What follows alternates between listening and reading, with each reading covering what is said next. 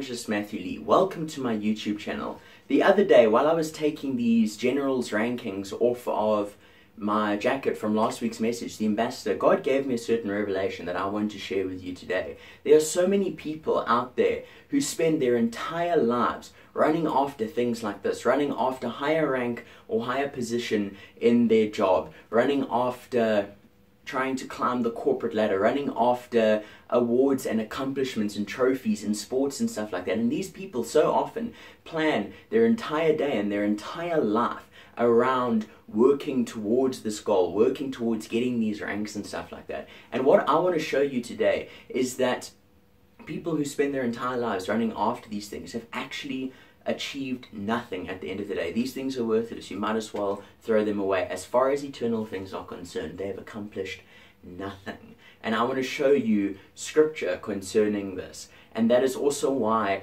I've chosen my title today, It Was All for Nothing. So the first scripture I want to show you is in the book of James, and it is James chapter 4, verses 13 to 16. Look here, you who say, Today or tomorrow we are going to a certain town and we will stay there a year we will do business there and make a profit. How do you know what your life will be like tomorrow? Your life is like the morning fog. It is here a little while, then it is gone.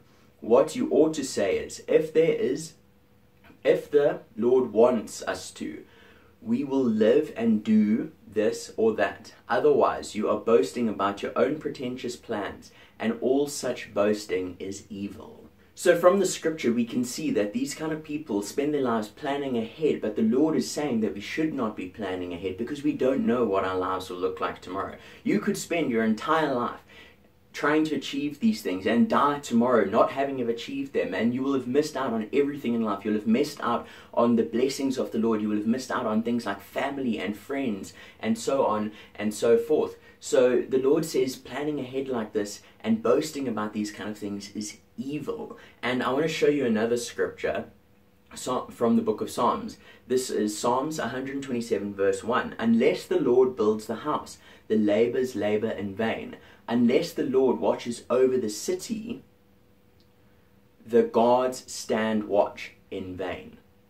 So, as we can see from this as well, unless, eh, unless it's the Lord's will it's in vain at the end of the day. We've achieved nothing eternally. So you might ask me, what can we do that will give us some form of eternal achievements, eternal rewards? Well, the first answer is quite simple, and that lies in the book of John, chapter 3, verse 16. We all know the scripture. For God so loved the world that he gave his only Son, that all who believe in him shall not perish but have eternal life. Okay, so there's your answer right there. If you want to have some form of eternal, that do something for eternity that's worth something, that's the first thing, is we need to accept Jesus Christ as our Lord and Savior so that we can first of all have eternal life. And that's not to say that if you don't accept Jesus Christ as your Lord and Savior, you won't, have, you won't have eternal life. You will still have eternal life. It'll just be in a much less desirable place, as the following scripture says from Mark 16, verse 16. And anyone who believes and is baptized will be saved, they will go to heaven. But anyone who refuses to believe will be condemned. So, as we can see from the scripture, if you don't believe, you'll be condemned. So, you'll still have eternal life, just in a much less desirable place. So, you can still run after all these things, accomplish nothing, not believe in the Lord, and still have eternity, but you're not going to be in a very happy place. I can guarantee you that.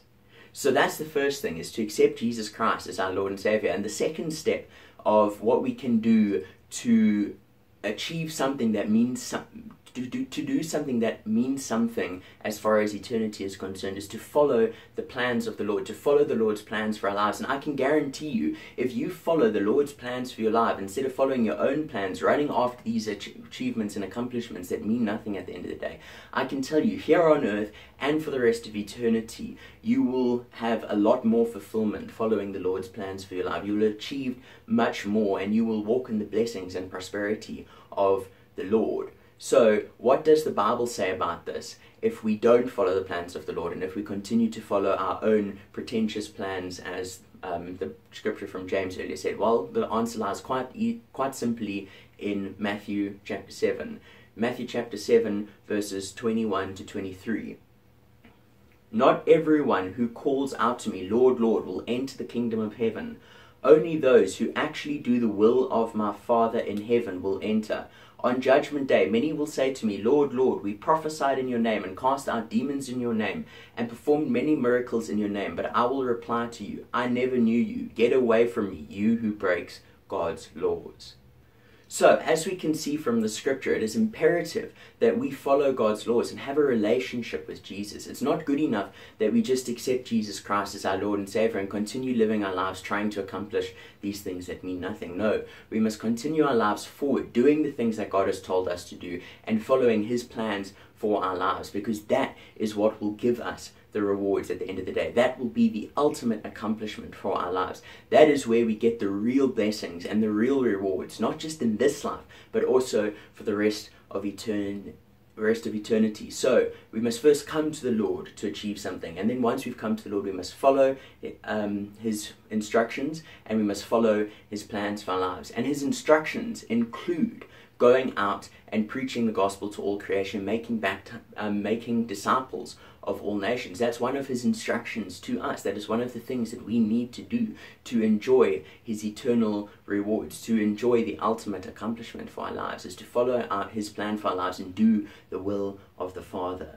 So, I hope this message has been an encouragement to you. And if you are one of these people who have been doing these things and achieving nothing at the end of the day, you know, even though in human eyes you may be achieving some form of success, I want to encourage you today to, if you haven't met the Lord yet, turn to the Lord. Make the decision to turn to Him today.